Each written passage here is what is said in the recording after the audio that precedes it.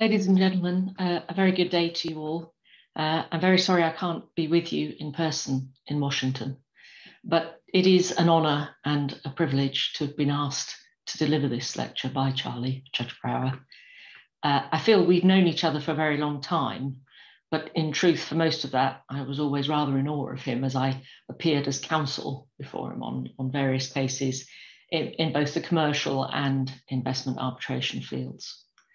Charlie was always very kind and greatly encouraging of my efforts, if a little more probing than I really would have wanted on occasions in testing my case.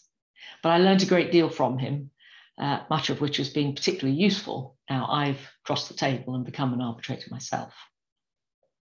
So I was delighted when he uh, invited me to deliver this lecture. That said, I'm acutely conscious that we are living in a time of great geopolitical tension and arguably even a transition to a new world order. There will no doubt be much discussion and debate at the conference on the international law implications of, of current events and the need to uphold the rule of law, uh, seen perhaps more vividly to some of us now than ever before.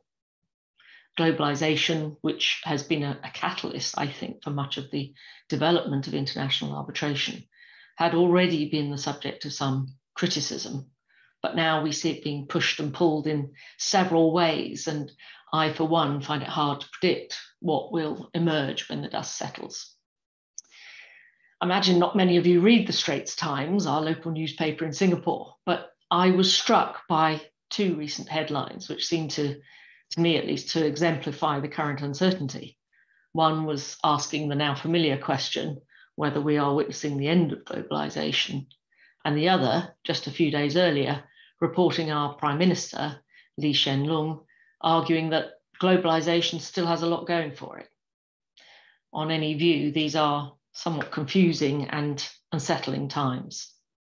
But in this lecture, I'm going to focus closer to home, not on world perspectives, but on those of a, a practitioner who spent her entire career in the field of international arbitration, first as counsel and now as arbitrator. Much has been said and written about the psychology of arbitral decision making and all the, the influences and biases to which we as human beings are often subconsciously exposed. But my talk will take a more empirical approach, and my remarks are an amalgam of personal views and observations Gary gathered over the years. They reflect both my experiences as counsel and the rather different perspective which I now have as an arbitrator, as well as my impressions from interactions with other tribunal members. I'm going to focus on things that I think, with hindsight, I might have benefited from paying more attention to uh, when I was acting as counsel. And that's really another way of saying that none of this is rocket science, but hopefully it will provide some insights into the thinking of tribunal members uh, and thereby be of assistance to those of you who present cases, or at least perhaps give you some pause for thought as you go about your task. Of course, uh, arbitrators are not a homogenous group, but I believe my own experiences are fairly typical, so my observations may well resonate with others who've assumed the arbitrator role uh, indeed for the arbitrators in the audience, whether you agree or not with my views on the issues I'm going to be discussing, it's still, I think, a healthy discussion for us all to have. inevitably, I suppose, I am more constrained than I would ideally like to be in terms of giving explicit examples. And none of my comments should be construed as relating to any current matter before me.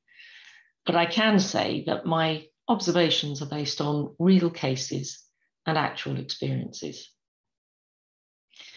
Just a little bit of context for you. Let me start with uh, perhaps a, just a, a quick background.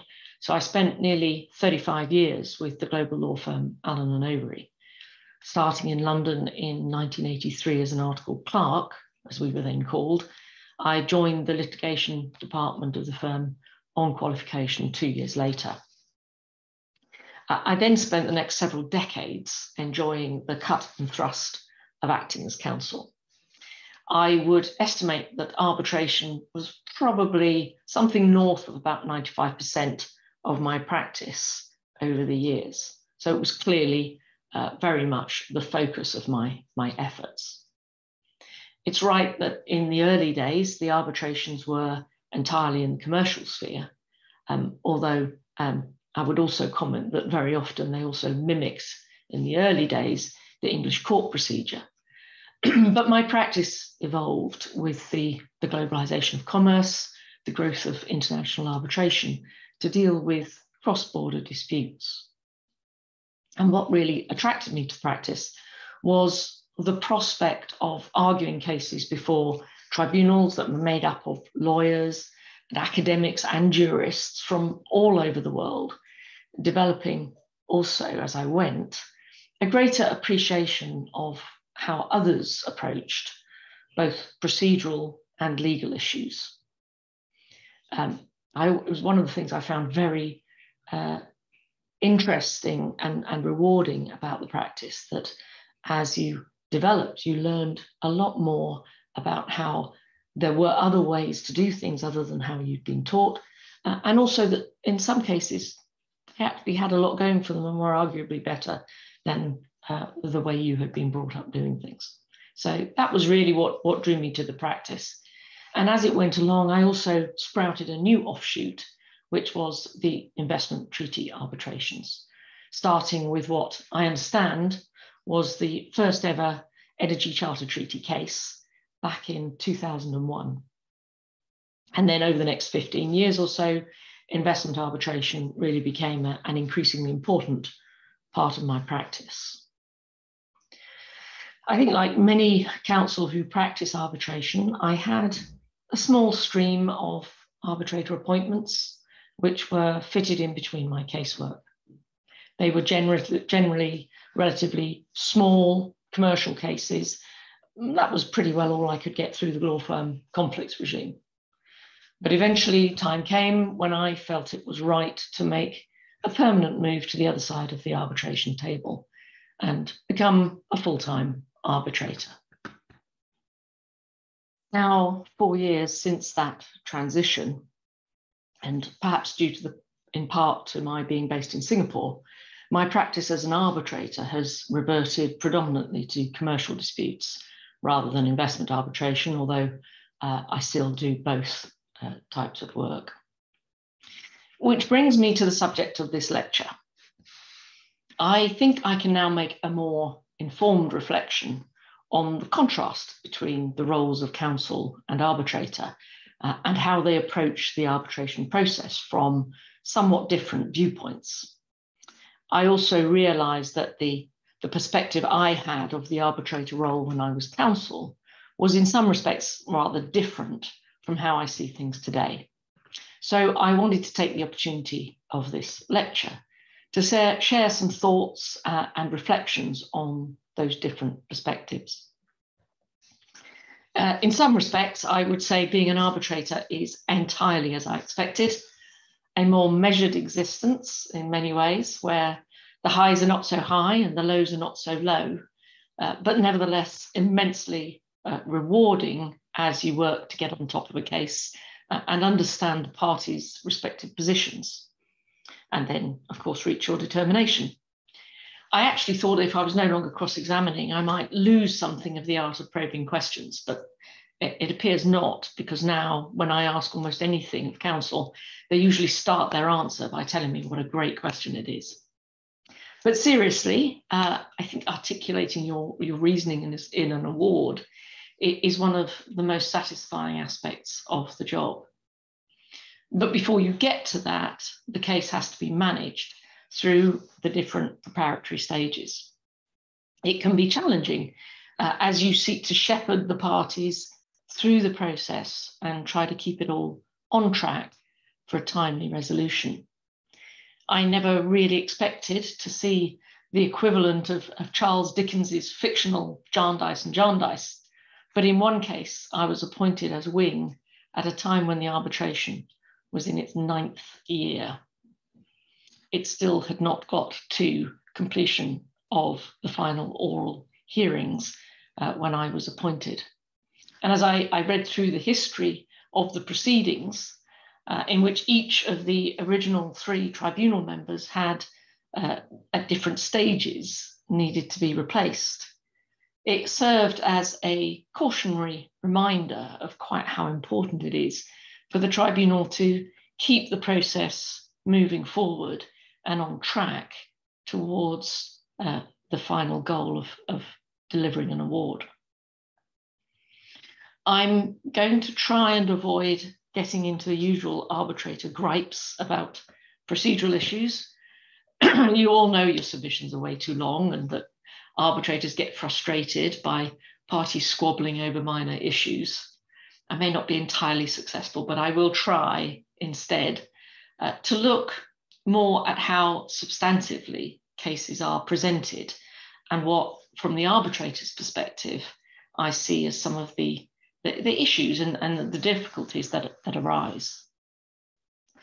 But before getting into the detail of that, I think there are a couple of fairly obvious but important overarching points that it, it's worth making at the outset.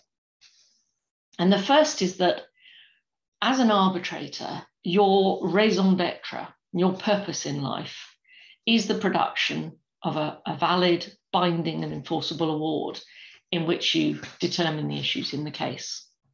And from the tribunal's perspective, everything else really is geared towards enabling you to achieve that goal.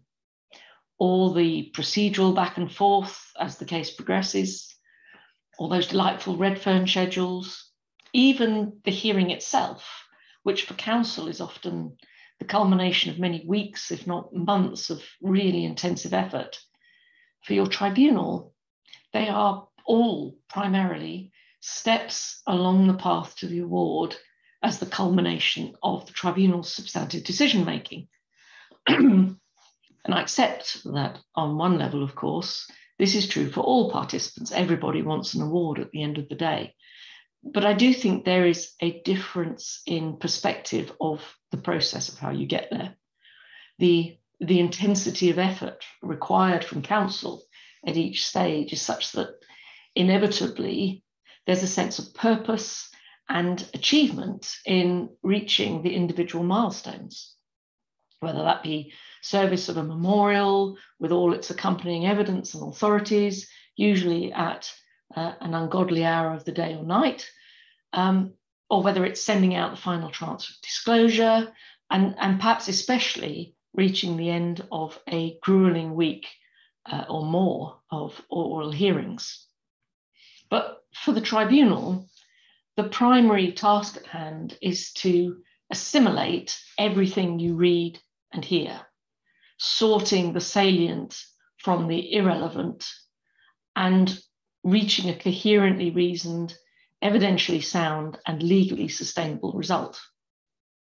Of course, there may be a need for substantive decision making along the way if the parties need some form of interim relief, which the party, which the tribunal has to do its best to resolve despite inevitably perhaps it having a, a somewhat incomplete picture of the broader merits of the case. But putting that on one side, for your tribunal, what they're really focused on, their holy grail, is how this will all play out in the award that they have got to write. And that will inform their thinking and their approach to the case and what they want from you as counsel. In short, they want you to get to the point and to explain the relevance of what you're doing or convey it to the tribunal. And that's why they get grumpy if they think you're wasting time on things that don't really matter. Again, let me give you an example. As a tribunal member, I sat through a day, a full day of very technical expert evidence on a particular issue in a construction case. The only relevance of it was agreed to be whether the issue addressed had caused delay to the project. The tribunal then asked the delay experts of both sides if the subject of that technical evidence formed part of their analysis, and both said no because they agreed it wasn't on the critical path. Again, clearly not a useful uh, way to spend the tribunal's time and the limited time available for hearings. But the key point I'm, I'm making here is to suggest uh, that you always try and bear in mind and tailor your approach to the fact that your tribunal will be looking at the case through the prism of its decision making role. So try and focus on what is truly relevant. I fully accept that the tribunal has a part to play in achieving that. Uh, of course, they do. But there is a balance to be struck. And as a tribunal, we cannot tell you how to put your case or indeed interfere uh, too much with the way you choose to put it. But we will thank you for helping us by focusing on what matters. And if you want your argument to be adopted in the award, I suggest you avoid diatribe and deliver the sort of reasoned analysis that your tribunal might be persuaded to endorse. And I'll come back to this a little later in the, in the lecture. The second overarching point is a reminder that uh, your tribunal will be looking at the case objectively and from a position of neutrality. That's what parties want, and it's why, as a community, we focus so much on independence and impartiality of the tribunal. You want arbitrators who are genuinely neutral to decide your case. Uh, and I have actually felt this to be one of the more liberating factors in my new role. I'm not trying to argue for one side or another because, as an arbitrator, it makes no difference to me who wins the case. But alongside that neutrality comes an objectivity of approach, which for counsel engaged uh, can uh, sometimes become a little obscured.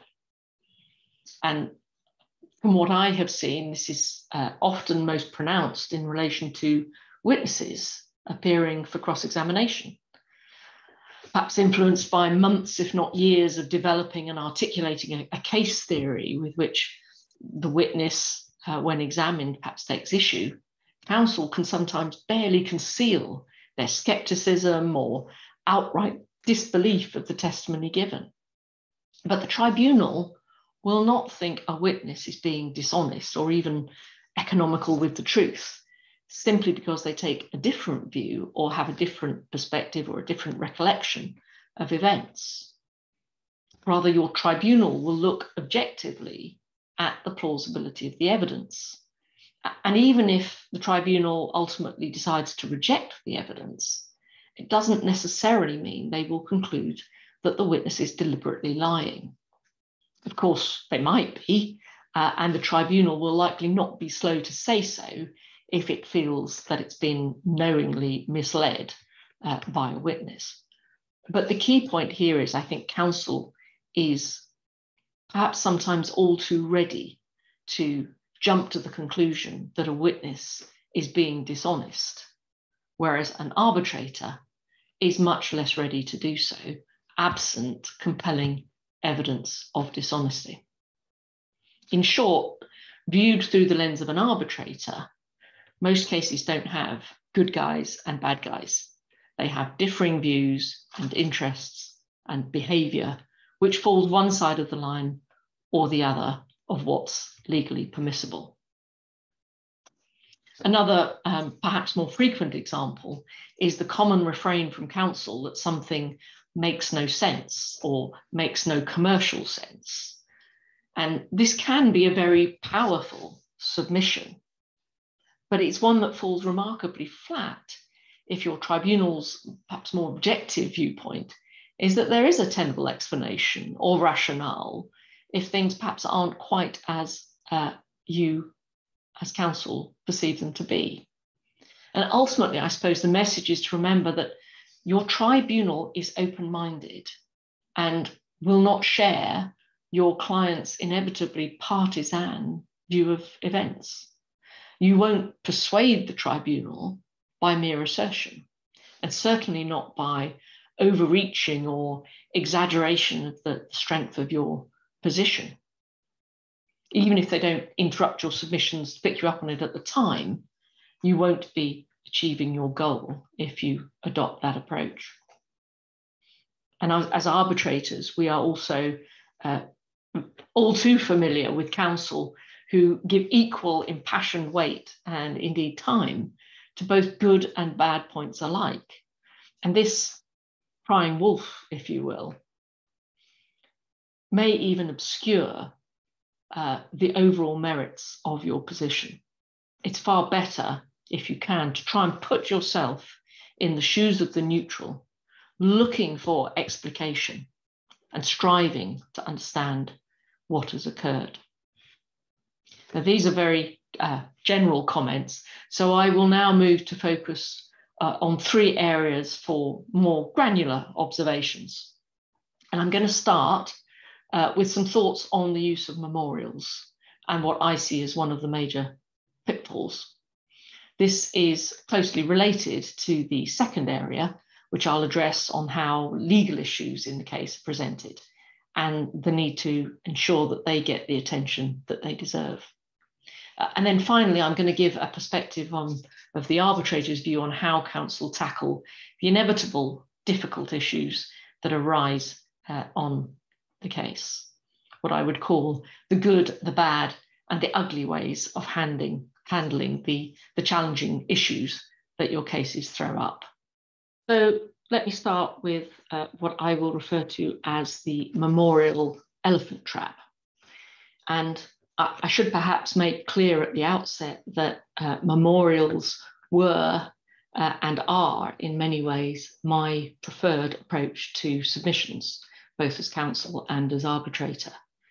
There is something very satisfying about presenting a complete, coherent, cross referenced submission with all its evidence attached.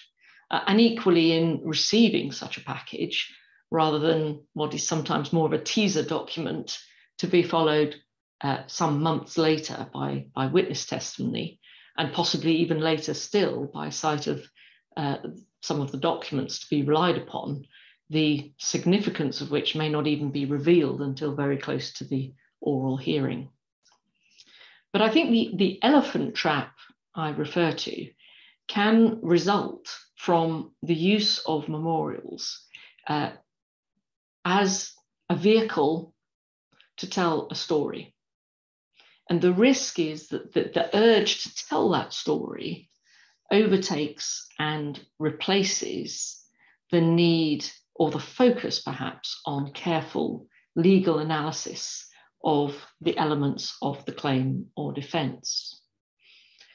Of course, I acknowledge that not all cases require delving into a detailed analysis of the applicable law, and your tribunal may already uh, have detailed knowledge of the relevant area of law uh, and may indeed have been chosen precisely because of that um, you don't need to explain to Judge Brower what Article 31.1 of the Vienna Convention says or describe for him what the Salini criteria are.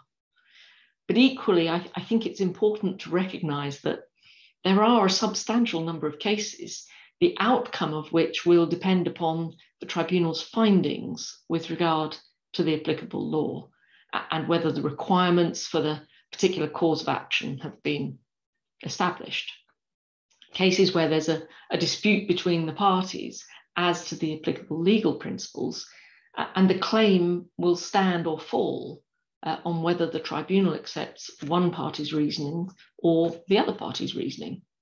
And to my mind, it's those cases where the danger lies. And yeah, I recognize some will argue that, that most cases turn on, on the facts, not the law. But I would suggest that's perhaps an oversimplification because your tribunal are always going to have to focus on the law as part of their decision making, even if it might not be the most contentious aspect uh, of the particular case. But in others, it will be.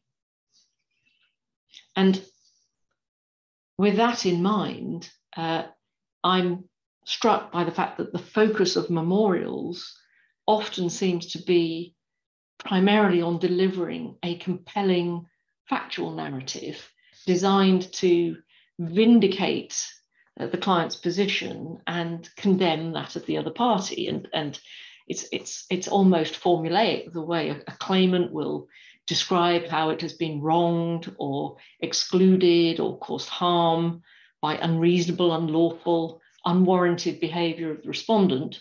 And then in turn, the respondent will explain how it was entirely justified in its actions, they were proportionate, a direct response to the appalling behavior of the claimant, as set out in its counterclaims. Adjectives abound egregious, appalling, shocking, grievous, shameful, blatant, and so on. Uh, and the clients love it. Um, and the emphasis on getting across their side of the story is what they want to hear. And, and that is understandable. Your clients want their version of events to be heard. And you want to win the hearts and minds of the tribunal, right? Persuade them that your clients are the victims of the peace, whichever side you're acting for, uh, and encourage the tribunal to see that they have a duty to provide or reject recourse. Well, that's all fine up to a point, but of course, arbitrators have to look beyond this, that objectivity kicking in again. And what I've seen happen with this approach, which I've sort of slightly glibly de described uh, as the back and forth, but what I have seen happen is that so much attention is given to getting the story across that it comes at the expense of a rigorous legal analysis. Counsel getting so wrapped up in their narrative of wrongdoing that they fail properly to consider the requirements of the legal case that they're seeking to advance. And that can, of course, be fatal because no matter how convincing the storyline or how sympathetic the tribunal might be, it must ultimately be provided with a legally coherent and persuasive route to its determination, assuming the parties haven't agreed on ex aequo bono or some other formulation. But generally speaking, the tribunal has to look for a legal route to its determination. And an account of mistreatment, however compelling, isn't enough to ensure that there'll be redress. Indeed, if the tribunal is left scratching their heads as to what your legal case is, because it's hidden in a morass of prejudicial ranting, your memorial is not going to achieve its purpose. Let me give you some examples of the sort of thing I, I have in, in mind, uh, where I have seen the, the, the, legal analysis being, in my view, neglected. And, and I suppose the examples are necessarily quite specific, but just, just to name a few, the fraud claim, where the successful party affirms the contract, but seeks damages on the basis of restoring the parties to the position they would have been in had the contract never been entered into. The claim for expropriation, where the asset remains operational and under the full use and control of the claimant. The shareholder claiming on behalf of the company it owns against third parties uh, for losses which the applicable law permits only the company to claim and the claim which jumps from the wrongdoing to proof of loss without addressing the crucial causation steps in between, or indeed, in some cases, even addressing a, proper articulation of the alleged breach.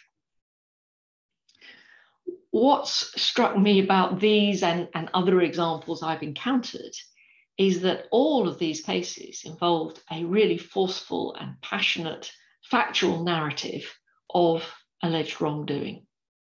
And I've therefore been left with a sense of counsel becoming so preoccupied with the facts that the legal basis of the claim doesn't get the attention it deserves. As seems almost invariably to be the case, the legal analysis comes only at the back end of the memorial, uh, but that I suggest, does not detract from its importance, especially for your tribunal, who are going to approach their decision making uh, on a basis that has to focus on the legal framework and the elements necessary to support any award. This lack of rigor can, can actually also, I've, I've, I've observed, uh, can often be exemplified by arguing for the application of a very broad range of legal theories, regardless of whether they are truly sustainable on the facts of the case. Presumably, the idea is to give the tribunal lots of alternatives to choose from. But I, I do think there is merit in the saying less is more, and an eclectic approach to pleading can not only detract from its effectiveness, but it also seems to me somehow to give counsel a false sense of security that there must be a valid claim in there somewhere because they've managed to put forward so many different options. I see that frequently in the commercial context, but I would also ask rhetorically how often are claims based on full protection security and national treatment standards thrown into the mix in treaty claims when they really add nothing to the principal claims of fair and equitable treatment uh, or expropriation? Let me turn then to the second uh, uh point that I wanted to focus on, uh, and it's it's very much related, uh, and that is the issue of how we develop legal argument in the course of an arbitration. Uh, this is a subject about which I have had reservations for some time, uh, which I raised in an essay in 2015 as a contribution to the publication, which was celebrating Charlie's 80th birthday. Uh, some of you may re remember it. It was called Practicing Virtue Inside International Arbitration.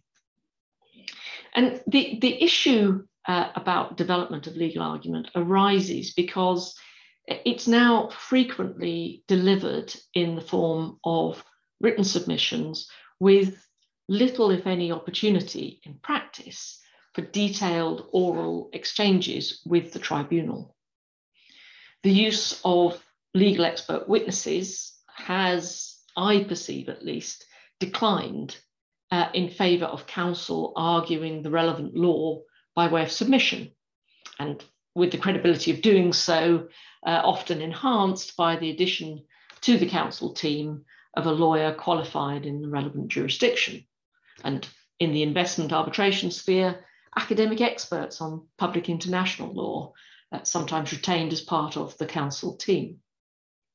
And even if uh, it's a case where you have expert evidence on the legal issues adduced by way of witness testimony, I've certainly experienced that cross examination seems in practice quite frequently to be dispensed, of, dispensed with. So, uh, as a result, uh, the development of legal argument at the hearing seems to me at least to have waned somewhat. Hearings are increasingly focused instead on the examination of, of, of witnesses. Uh, indeed, they're often betrayingly described as evidentiary hearings.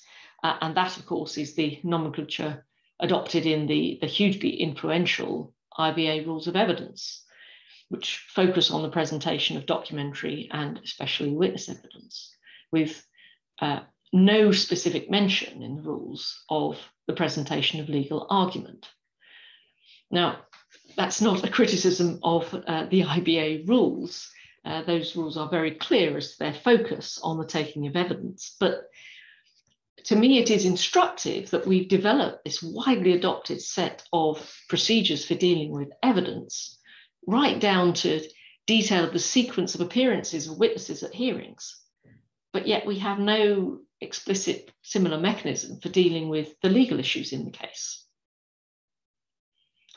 in, in some ways, also for me, the, the, the focus on, on witness evidence is itself a slightly intriguing development, as those who decry the, the relevance of legal argument uh, on the basis that it is that most cases turn on the facts will probably also tell you that witness evidence is notoriously unreliable and can be given little weight. Now, that's not a criticism of the IBA rules those rules are clear as to their focus on the taking of evidence. But uh, it is perhaps instructive that we've developed this widely adopted set of procedures for dealing with evidence, right down to sequencing of appearances of witnesses at the hearings. But yet we have no explicit mechanism or guidelines that have been widely adopted uh, for dealing with the legal issues in the case. And whether or how that's to be done has to be addressed on a case by case basis. And in some ways, I think that the focus on witness evidence is itself um, a slightly intriguing development because those who decry the relevance of legal argument on the basis that most cases turn on the facts uh, will probably also tell you that witness evidence is notoriously unreliable uh, and can be given little weight. Nevertheless, I think, uh, I think we, we could probably all agree that despite the legal analysis being a key part of the tribunal's award, the battle for airtime, at least at, at hearings, seems to largely have been won by witness evidence. Now, wearing my arbitrator hat and perhaps influenced by what I've described earlier uh, about the memorial system, meaning that the legal basis of the claims is not always given the close attention it deserves.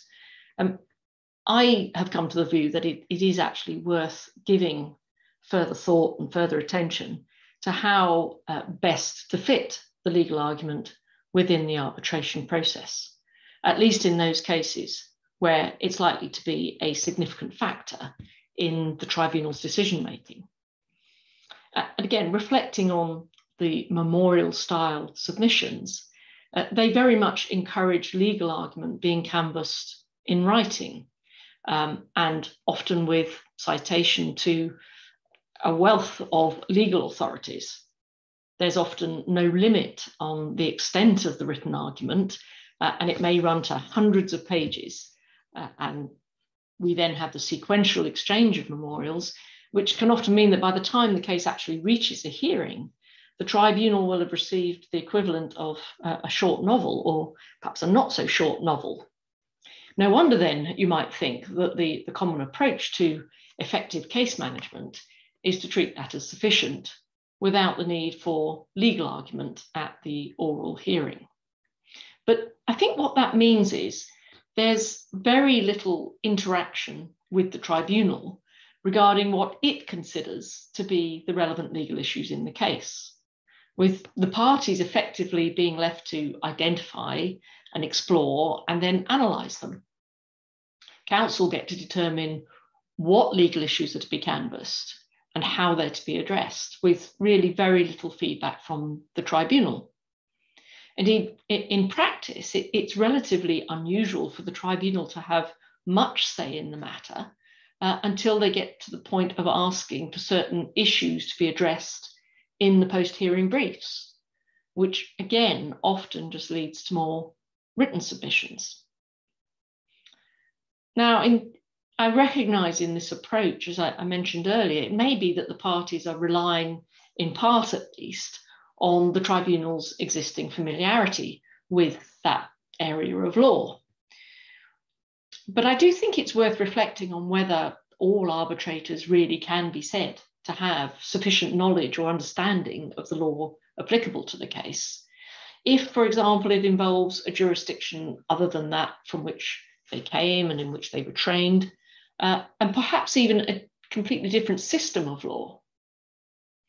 If, if, if that's the, the situation, one has to ask is it sufficient that they just get written submissions, but little or no discussion or opportunity to, to question what's being put before them?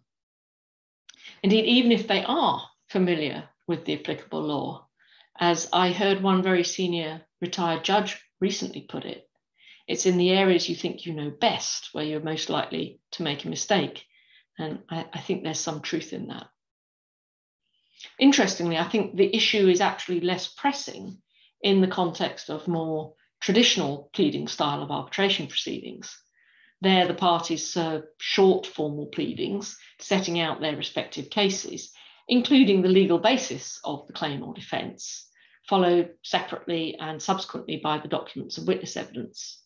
But the written articulation of legal argument at that stage, at least, is often in fairly skeletal form, setting out the principles contended for, but without detailed analysis. That comes later uh, in the form of pre-hearing summaries. But perhaps because it has previously received more limited attention, uh, it's not uncommon in my experience for more time than to be set aside for legal submissions to be given orally at the hearing, either in rather lengthier openings or sometimes in oral closings. Uh, and that leads to a greater level of interaction on these matters with the tribunal. Another aspect of this uh, concerns how helpful these lengthy written legal submissions in the memorial really are to the tribunal. They're often carefully crafted uh, and may advance some fairly tightly worded propositions, which ultimately turn out to be of little assistance because they address a distorted version of the relevant principles, for example, uh, what some call straw man arguments. Or they may be superficially persuasive, but ultimately will not withstand detailed scrutiny. Uh, or they may simply be filled with obfuscation.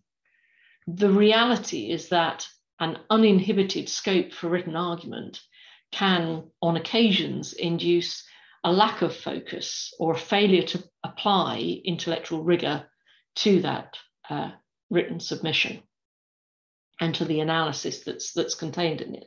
And I personally feel that that is all the more so when counsel knows that they're never actually going to be called upon to look the tribunal, tribunal in the eye and orally defend the positions taken. Now, for those of you who, who think I'm underestimating the intellectual firepower of most uh, arbitrators, I would suggest think about it this way. That arbitrator may have trained in a particular jurisdiction, and most of their career may have focused on arguing cases based on that applicable law. They, they may be diligent about keeping up to date with significant legal developments, and they may even have done a case or two within the last few years that involved that particular area of law. But for all that, they still need to grapple with the specific legal concepts and principles applicable to the case. They may know them well, but they may not.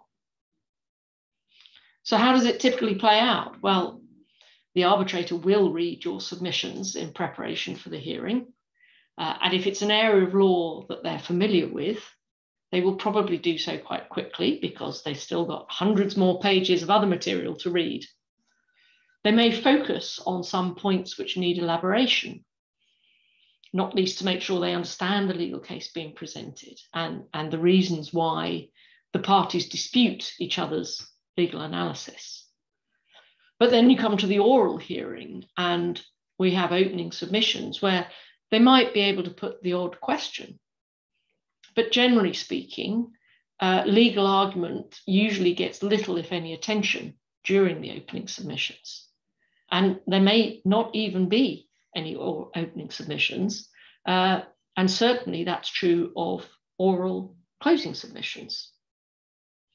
So, as I said earlier, the, the really the primary opportunity for the input on the legal issues by the tribunal appears to me at least to come primarily when they start putting their questions to be addressed in the post hearing briefs, which I think we can probably agree is a relatively late stage in the proceedings. And I think my point is that even at the oral hearing, the rubber doesn't really hit the road on this. There's a risk that that actually only happens when the arbitrators come to put pen to paper to write their award. It's at that stage they have to focus in detail on the legal issues in order that they can then articulate their reasoning for deciding one way or another. The parties may have put in some written submissions, but otherwise effectively ignored it up to that point. But the tribunal must then focus.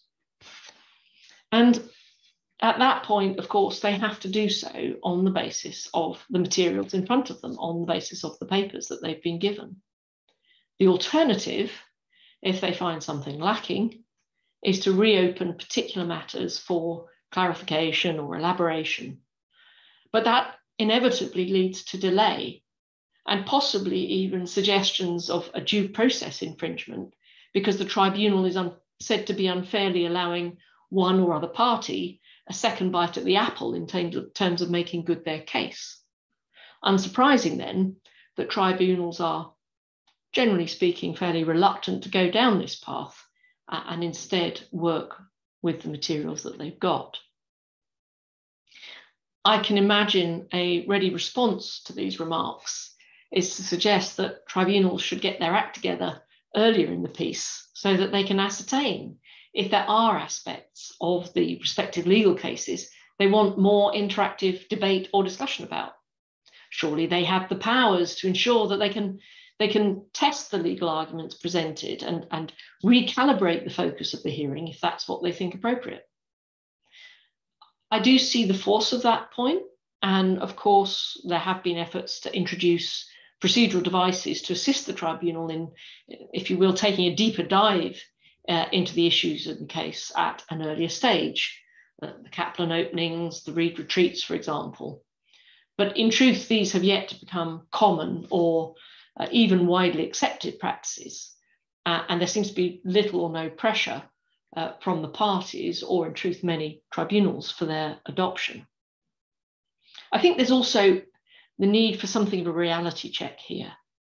The counsel teams on substantial cases will often be very large, and the tasks will be meted out in a way which enables detailed focus on particular aspects of the case by different subgroups, each of which takes responsibility for mastering their particular area of the case. Arbitrators don't have that luxury. Even if they have agreed in advance who will take the lead on writing different sections of the award. It's incumbent on all of them to get across the entire case so that they can provide effective input into the deliberation process. And of course, they're all responsible for the award in toto uh, that results from the case. So your tribunal will be trying to do their best to get across the, the whole of the case and take it all in. And as each memorial arrives, usually several months apart, they will be building their knowledge and understanding of the case. But they have to absorb what is often a vast amount of material. So it's perhaps not altogether surprising that an issue with or gap in the legal reasoning, which a party may also, of course, have been trying throughout to paper over, may become apparent only when the tribunals seek to pull it all together in the form of a reasoned award. So, what's the answer? Well, uh, I can't pretend to have a magic solution. As I say, there are procedural mechanisms which may help, um, and perhaps we should use more. But I do think it part of the problem comes back to the fact that arbitral procedures often take a familiar form without always recognizing fully the particular features of the case. And it, it, seems to me there could be benefits all round from a more targeted approach to identifying those cases where the law is a matter of real contention between the parties, or where the case raises complex or novel legal issues with which the tribunal may not already be familiar. If that's done, then more careful consideration can be given to when and how the legal analysis is to be developed. And for this to be done on a more bespoke and, and indeed collaborative basis, which engages the tribunal uh, as well as the parties. And I suppose what I would say is, as counsel, if it really matters for your case, maybe you should be pressing for more airtime at the hearing to discuss the legal issues. Which brings me to the final topic for today, uh, which is the treatment of what I would call difficult issues and the good, the bad, and the ugly way of doing so. I think by definition, every party in every case has to deal with difficult points. Otherwise, if it was all very straightforward, the case would almost certainly have settled somewhere along the course uh, and it would never have come before the arbitrators. There might be difficult uh, be facts that are difficult to reconcile with your case theory or unhelpful documents. uh, or legal authorities which undermine your argument. Hopefully, not all three, but yes, sometimes you might face all three. As arbitrators, we understand this. We know you will have strong points and weak points to your case. We also understand that as counsel, you want to focus on the points where you're stronger and can confidently denigrate the other side's case. Good counsel also know, however, that they have to deal with the difficult points too.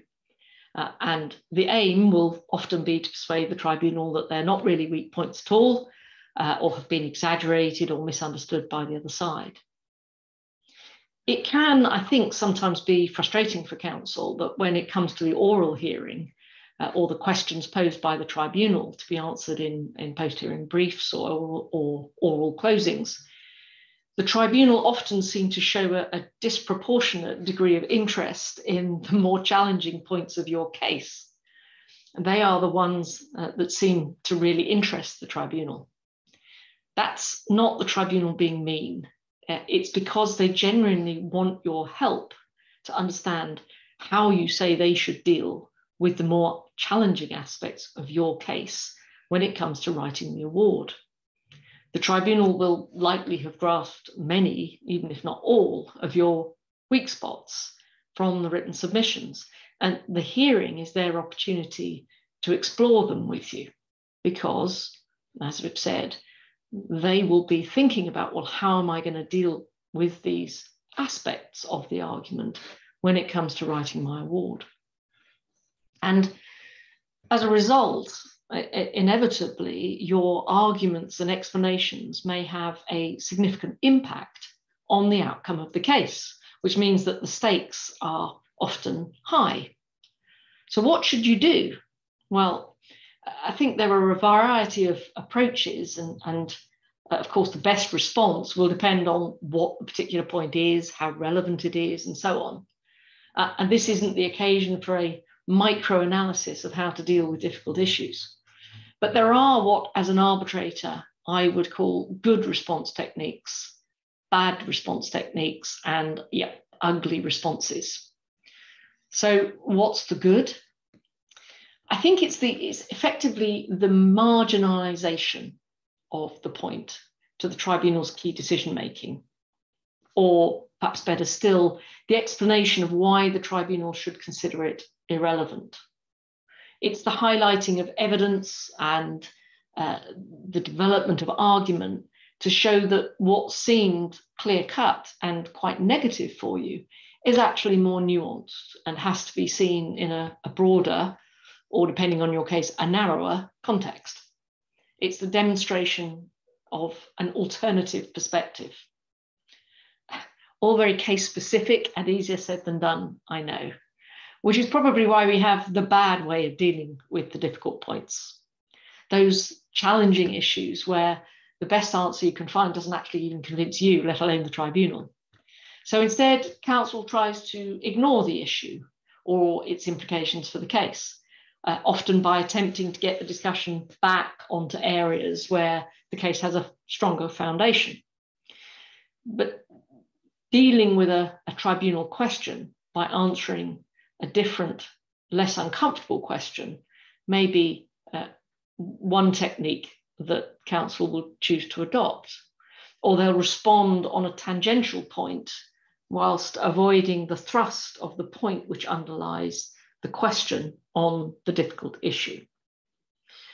The problem with those devices is that for your tribunal, well, first, it's obviously a bit irritating when counsel doesn't answer the question.